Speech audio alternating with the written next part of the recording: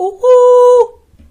Hey, Rock Cloud is back, and today I'm going to show you guys how to install an HP printer over the network uh, via IP address.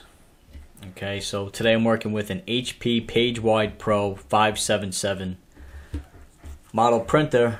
Um, nice LaserJet, and what you're going to do first is you're going to assign a static IP address from directly on the printer from the unit itself. So right from the little display, you go through the settings, go to network settings, and you'll manually enter an IP address, your default gateway, and sometimes it will request a DNS entry as well. You save those settings. Once you have that printer powered up and configured with an IP address on your network, then simply you work your way to your server. Okay, so you go to your server, it's on your network. First thing you do is open up a command prompt. Okay, and we're going to ping the IP address that we assigned to the printer to make sure that it's live and it's responding. Okay, so we're going to do a ping, and you're going to type in the IP address that you assigned your printer. In this case, it's 192.168.175.14. Okay, you do a space hyphen T. Okay, that gives you a redundant ping. Okay, so it's a continuous ping. Uh, so you ping your IP address hyphen T, press enter. Okay, so we have a responsive printer on the network and it's responding well. So you know the printer is connected to the network, it's up and running. Next, we're going to go open up Chrome and we're going to do a search for our printer drivers just to make sure we have the the most current available. So we're going to do a search for HP PageWide Pro 577 drivers. Press enter. Okay. You want to make sure that you select the correct link. Like this is not Hewlett Packard. This is not a, a direct Hewlett Packard link. Okay. Some of these links are phony be careful, be cautious. You want to click the links that start with support.hp.com, support.dell.com, usually that sort of thing. Um, you can select the printer. We get to the page.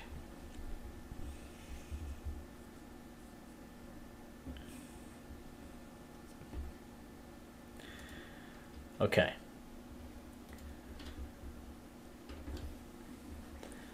Okay, we're going to make sure that we download the driver we're going to change the OS to Windows Server 2012 R2 because that's what we're currently on. Okay, I'm going to say change. My Windows Server version I'm running is Windows Server 2012 R2 and how you get that information is if you're able to run a command W-I-N-V-E-R WinVer and you press enter and it pop pops up with this box and gives you the uh, information of the server that you're running or you or this even also works on the uh, Windows operating system for client side for workstations. It gives you the um, operating system and will also give you the exact build that you're running here. Okay this is version 6.3 next we're going to download the universal print drivers Okay, we're going to go for Windows. Let's go for the uh, PCL6 64-bit. Let's download this.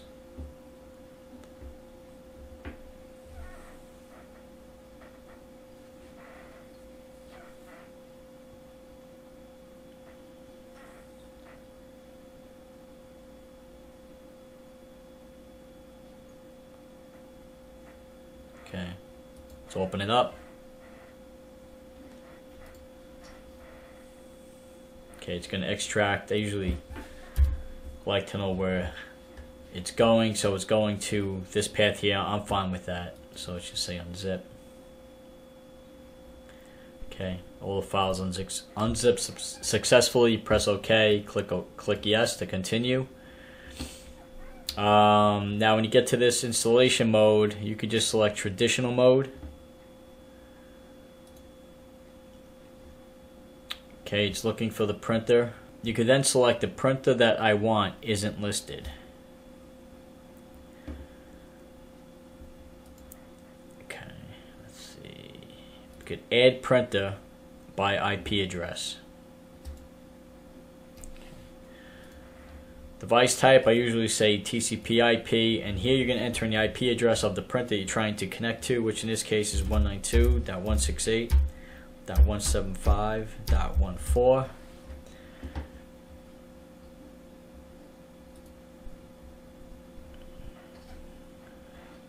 Okay.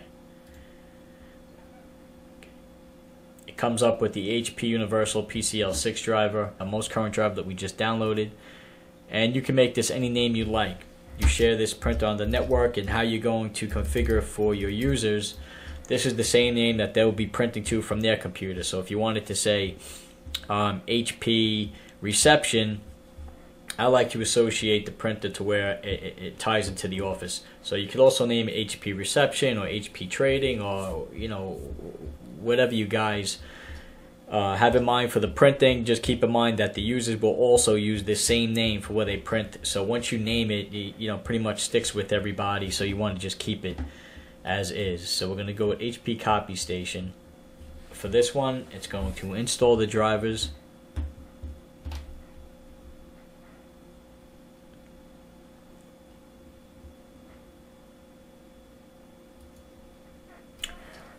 Okay, finally the printer has installed onto the uh, server. This is the file print server, so we're going to able to uh, select the option to share this printer so others can find and print it. You can install it from the user's workstation on your network.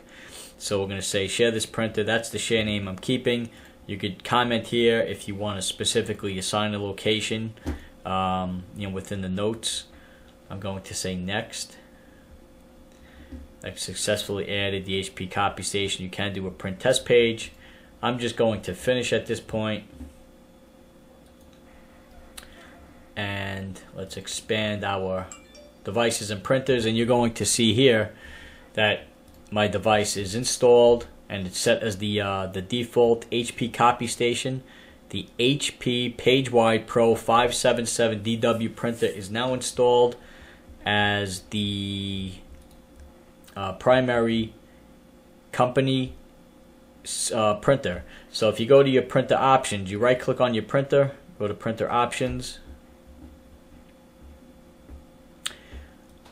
Okay, you can go through the tabs and this is where you'll see the ports. Okay, this is the TCP IP port that's assigned to the uh, to this printer 192.168.175.14. Okay, that's the uh, the IP that we've been pinging, and that's the IP that we assigned on the uh, actual uh, printer. What you would like to do also is go back to your copy station properties, select sharing, and you want to click list in directory. You do want to enable that option, so on the workstation side, when you add the printer, it pops up in the list as a selection, and you could you know you could highlight that printer and install for each user. I would say apply and OK. Right. You can also right click, say see what's printing. Print brings up the queue. So you can manage the print queue and you can kill jobs as necessary if you have any issues. And that's that's pretty much how you do it. Okay, this is the HP PageWide Pro 577. Just remember that any network printer will follow these same instructions. Okay, you get your printer, you unbox it, you conf- you plug it in and, and, and configure it. You assign an, I- an IP address on the printer in the settings of the actual printer. Leave it connected to the network. Then you go to your server and you start running the ping test.